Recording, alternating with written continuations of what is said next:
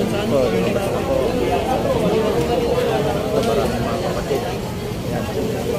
So, tapos.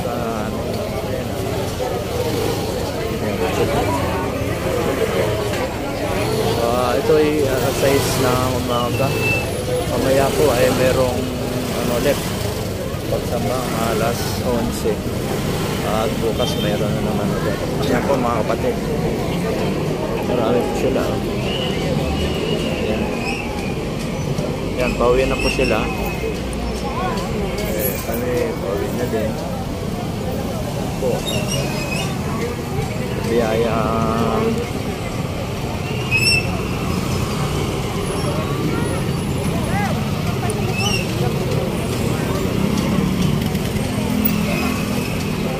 Ganda po ang ano. Sa personal. Maraming salamat at uh, nabiyaya pagbabalan na po na namin.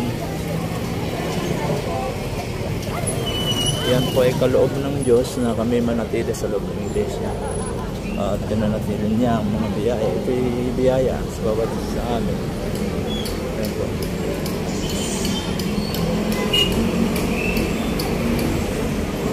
Sige po. Ah... magandang umaga sa lahat. Ang tanong, kaya tayo? Mahalaga yung tanong natin. Makararating pa kaya tayo ron? Sa dami ng pinagdadaanan natin sa mundo, sa dami ng iba't ibang problema, nakikinig ang mga mga awit na halos ang mahabang oras ginugugol sa kanilang mga pagtupad. Marating kaya natin yun? Makaya kaya natin?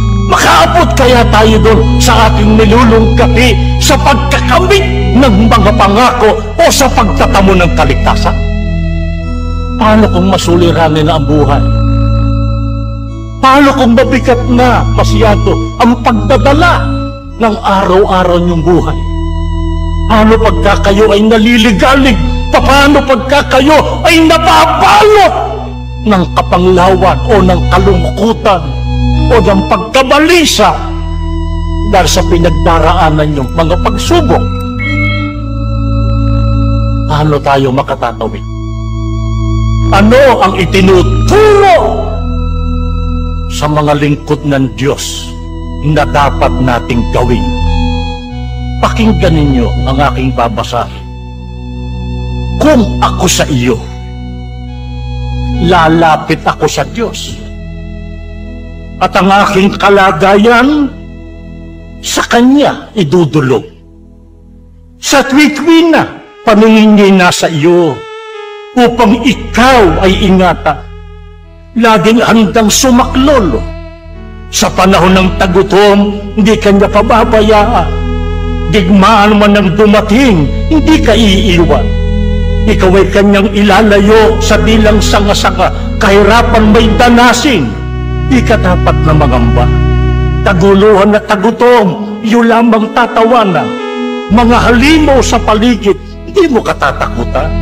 Pagkat magiging kapanig mo ang mga bato sa kabukiran at magiging kaibigan ang mga hayop sa kaparangan. Ang iyong sambahayan ay ligtas at panatag sa iyong mga kawan, isa man ay hindi mababawas.